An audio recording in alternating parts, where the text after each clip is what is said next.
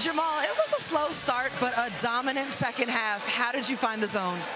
I uh, just got aggressive. Uh, normally, sometimes I'd come out and pass, see how the tone's going to be, but um, I got aggressive. Teammates made shots, and we uh, fed off the home crowd.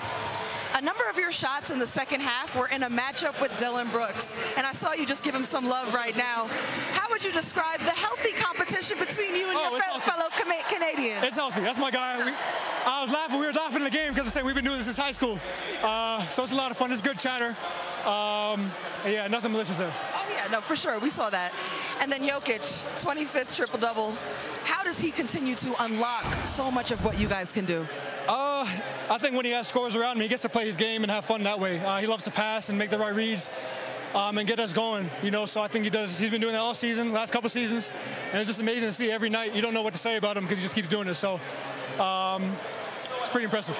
You guys just won the series battle against the number two seed in the West. As you continue to a playoff push right now, what's the significance of being able to do that? Just staying focused. Um, they had us at, their place on the road. Uh, we just knew we had to come on and be aggressive tonight. Um, but it's not just this game. You know, we, when we have the home crowd behind us as the number one seed, it's a lot of fun. Uh, we get a lot of dubs that way. All right, thank you. Congratulations. Thank you. For watching ESPN on YouTube. For live streaming sports and premium content, subscribe to ESPN Plus.